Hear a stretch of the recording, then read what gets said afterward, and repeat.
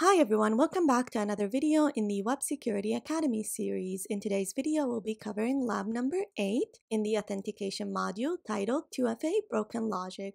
Alright, before we continue with the video, I'd like to announce that this video is part of a course that I offer on my academy. Now you might be wondering, why would I buy a course that is made available for free on YouTube? Well, there are four reasons why you might want to do that. Number one is that you gain early access to recorded material. As soon as I record new videos, I make them available through my course right away. Whereas on YouTube, they'll only be released on a weekly schedule. Reason number two is that you gain access to a Discord channel where you can ask questions.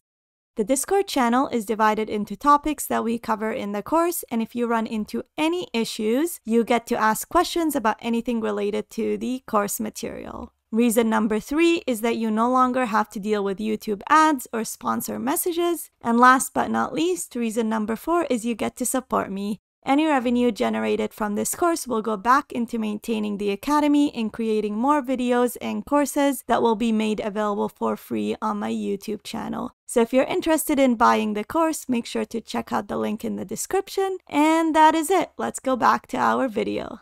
If you do not have an account on the Web Security Academy, you can get one by visiting the URL portswigger.net slash websecurity and clicking on the sign up button. I already have an account and I am logged in, so to access the exercise, I'm going to click on Academy, select all labs, do a search on Authentication Labs, and select lab number 8 titled 2FA Broken Logic. Alright, let's get started. This lab's two-factor authentication is vulnerable due to its flawed logic. To solve the lab, access Carlos's account page. We've got our credentials as a regular user, and then we've got the victim's username, which is Carlos. And then it says over here, you also have access to the email server to receive your 2FA verification code. Alright, so the target goal over here is to exploit the 2FA logic flaw to access Carlos's account. We have Carlos's username, but we don't have his password or his 2FA verification code. All right, let's access the lab. Notice over here, this is the built-in browser in Burp, and so all my requests are already being passed in my Burp proxy. I am using the professional version of Burp because we do need to use Intruder to automate the attack, and Intruder is heavily throttled in the community edition, and so you do have to use the professional version for this exercise or write your own script to complete the exercise. Alright, the first thing we're going to do is learn how the application functions. So we're going to click on my account and log in with the regular user credentials that we were given. Hit login.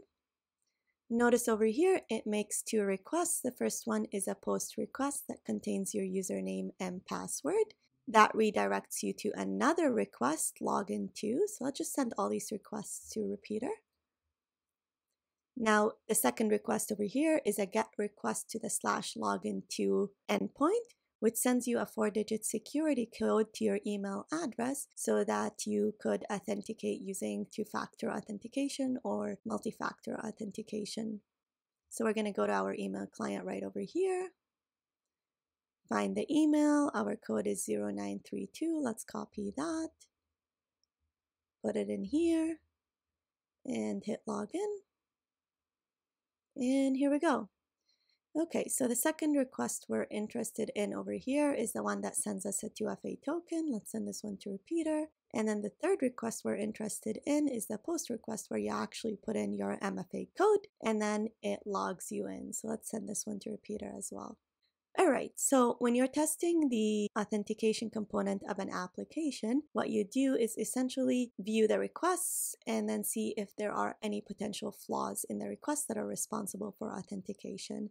The first one is a post request to the login page, which takes in the username and password. This looks completely normal. The second one is an endpoint slash login to that generates the 2FA token that gets sent to your email address. Now, if we look over here, it doesn't take any parameters in the URL of the request. However, you could see over here in the cookie field, there's a session token, which is normal because it needs to be able to maintain the session across requests. However, there's another cookie over here called verify, which takes in the username of the user, which is odd. Now my guess over here is this verify token takes in the username and then based on this value, the backend sends the 2FA token to this username over here, which is terrible because this way you could just change the username over here and send the 2FA token to another user. That is a vulnerability. However, it's not a big deal because if you're just sending a 2FA token to another user, you still can't access their account without accessing their email address. So we do need to find another vulnerability, but this is a start. So what we're going to do is we're going to remove the session token completely because this one is tied to the regular user account. And then we're just going to call this Carlos. Hit send. So far so good. I get a 200 OK message and it tells me please enter your four digit security code.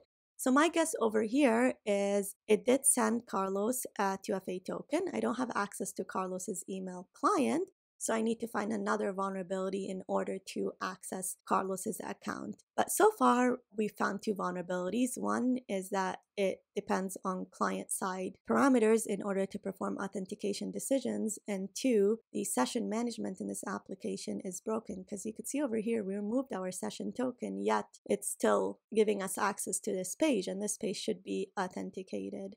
So, so far there's two vulnerabilities. We need to find a third one to access Carlos's account. So let's go over here for step number three. It's a post request to the slash login to endpoint and it takes in the MFA code. All right, interesting. So over here, it still takes in the verify cookie, which takes in the username of the user and then the session token. I'm just going to remove this and see what happens. Hit send. Okay, so this still sends me to the slash my account page, which means you don't actually need a valid session. All you need is the correct MFA code over here that is tied to this username over here in order to log into the user's account. This means that the username and password are actually not required, which is good because I don't have Carlos's password. So now all I have to do is guess Carlos's MFA code. So let's change this to Carlos and see what happens hit send. We get a 200 OK, and if we render over here, you could see it says incorrect security code. All right, so now what I need to do is guess this MFA token in order to log into Carlos's account. I don't actually need to know his password. This might be difficult if there's some kind of brute force mechanism on this application, but my guess is there isn't. So let's hit send a few more times. If after five times it doesn't log you out, that means there's no brute force protection on this page, which is another vulnerability. So far, this whole authentication mechanism contains about four or five vulnerabilities. So let's send this to intruder. In intruder over here, let's clear everything and then add on this parameter over here. So this is the token that we want to guess. We'll keep it at sniper, go to payloads, and then go to brute forcer and then remove all of this because it's just integers and then the minimum length is 4 and the maximum length is 4. And you can see over here the payload count is 10,000. So we're going to be performing 10,000 requests, which is near to impossible if you're using the community edition of Intruder. So let's click on Start Attack. And what we're looking for is a 302 redirect that redirects us to the My Account page. Now, while this is running, I do need to point out that before you run your intruder attack, you have to make this request right over here. So if we go to repeater I made a request to the get slash login to endpoint with the cookie set to Carlos so that my token gets sent to the Carlos account. If you don't perform this request, Carlos won't get a four digit code. And so even if you brute force all the possibilities, you won't ever be logged into Carlos's account because Carlos was never sent a four digit security code. All right, let's order on status to see if so far we've gotten a 302 and it doesn't look like it.